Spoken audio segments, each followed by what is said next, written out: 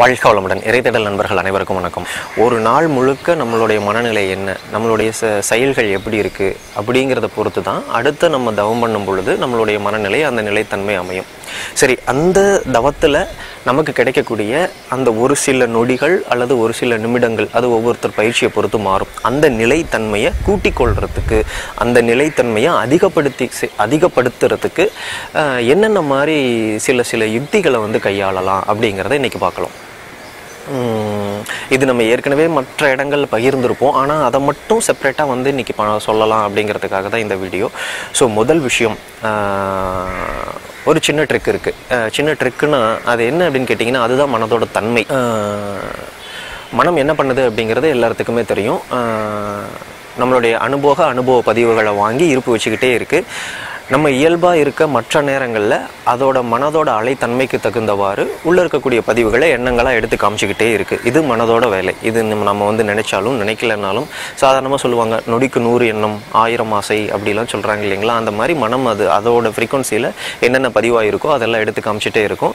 என்னென்ன நம்ம உள்வாங்கிக் கொள்கிறோமோ அதெல்லாம் உள்ளே பதிவு பண்ணிக்கிட்டே இருக்கும். இதுதான் அதோட வேலை. இப்போ உதாரணத்துக்கு நம்ம காலையில் வந்து ஒரு ஒரு ஒரு பாடலை கேட்குறோன்னு வச்சுக்கோங்களேன். அது நமக்கு வந்து ஒரு ஒரு ரெண்டு லைன் தான் கேட்டிருப்போம் அது வந்து பிடிச்சிருக்கும் மனதுக்கு.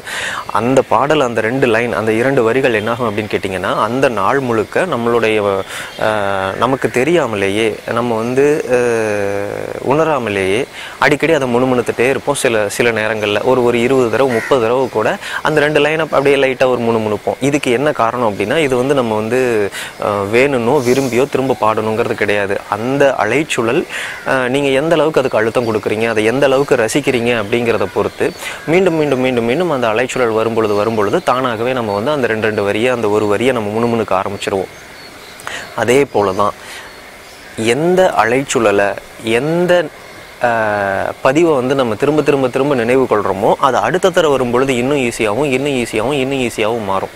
எப்படி நம்ம இப்போ ஒரு மகிழ்ச்சி இது அந்த உதாரணத்தை அடிக்கடி எல்லா இடத்துலையும் சொல்லியிருப்பார். எப்படி ஒரு டைப் ரைட்டிங்கில் வந்து முத முதல்ல வந்து கீபோர்டில் டைப் பண்ணும் பொழுது நம்மளோட ஃபிங் நம்மளோட விரல்கள் வந்து எவ்வளோ ஸ்லோவாக வந்து ஏஎஸ்டிஎஃப் அப்படின்னு அடிக்குதோ அதே நேரத்தில் கொஞ்சம் நாள் பழகுனதுக்கப்புறம் எவ்வளோ வேகமாக கிட்டத்தட்ட வந்து per மினிட்டுக்கு thirty characters fifty characters cross பண்ணுறவங்கலாம் இருக்காங்க. அந்த மாதிரி நம்மளுடைய வேகமாக பழகிறது எப்படி எப்படி முத முதல்ல ஒரு ஃபோர் வீலர் வந்து டிரைவ் பண்ண பழகும் பொழுது முத முதல்ல கியர் சேஞ்ச் பண்ணுறது எவ்வளோ சிரமமாக இருக்கோ ஸ்டேரிங்லேருந்து கையெடுத்து அதே வந்து நீங்கள் நல்லா கற்றுக்கிட்டதுக்கப்புறம் போகிற போக்கில் ஒரே கையில் எப்படி வேணாலும் மாற்றி மாற்றி பண்ணுறாங்க இல்லையா எவ்வளோ ஸ்டைலாக அதே போல தான் ஒவ் எந்த விஷயத்தை நம்ம வந்து அடிக்கடி பழக்கப்படுத்தி கொள்கிறோமோ எந்த விஷயத்தை ரசிக்கிறோமோ எந்த விஷயத்தை விரும்பி மீண்டும் மீண்டும் செய்கிறோமோ எதை நினைக்கிறோமோ அது நம் மனதுக்கு இயல்பானதாகவும் எளிதானதாகவும் மாறிவிடும். இவ்வளோதான் விஷயம்.